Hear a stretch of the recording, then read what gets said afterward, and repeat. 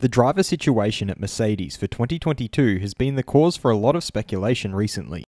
All the drivers involved, namely Lewis Hamilton, Valtteri Bottas, and George Russell, at various points in the last couple of weeks, have stated that they want to get done with the contract for 2022 before the summer break ends. However, as per team principal Toto Wolff, they might have to wait much longer, as quoted by Autosport. I'm your host Dillon Shelley, and first up on Formula World, Mercedes might delay driver announcement. Wolff started off by revealing what current driver Valtteri Bottas has to do to retain his seat. Drive the car fast on a Saturday and Sunday. If he does that, he puts himself in a very good situation in terms of next year. He then explained why a fresh lineup, while being a consideration, isn't the main driving force for 2022. Is that one of the things that need to be considered? Absolutely, but it's not the main driver.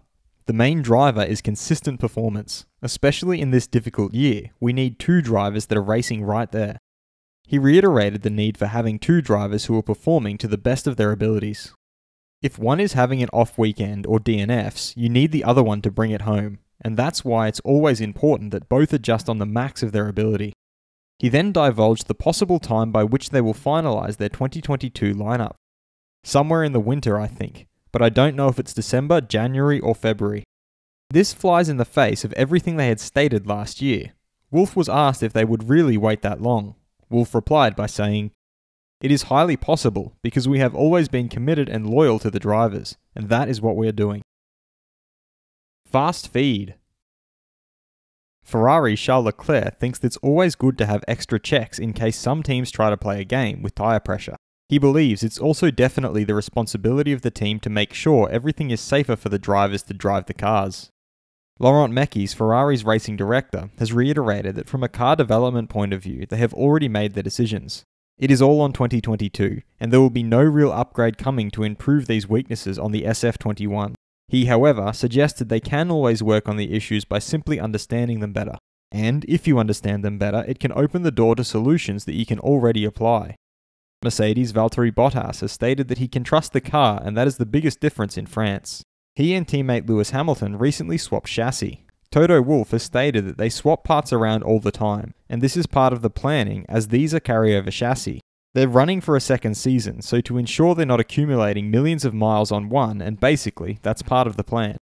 Williams George Russell is just enjoying that curiosity of not knowing what the future holds for him. Mercedes driver Lewis Hamilton has reiterated that he definitely didn't make a mistake under the pressure of Max in Baku. He added that what he did in Baku he doesn't even consider a mistake, but he doesn't feel any pressure. He also revealed they have not moved the magic button that he pressed accidentally during the race restart. They've only covered it to make sure that what happened in Baku doesn't happen again, to prevent him from touching it by accident. Red Bull team principal Christian Horner was surprised that Mercedes changed engines so early. He pointed out that usually they have lasted the longest, maybe they have a bit more degradation than they expected. He also feels the hardest thing to predict is how many races they will have in the season. There are some bumps at the end of the year. And Ferrari Charles Leclerc is of the opinion that where they fall short at the moment is in the medium high speed corners, but it's also about the total package.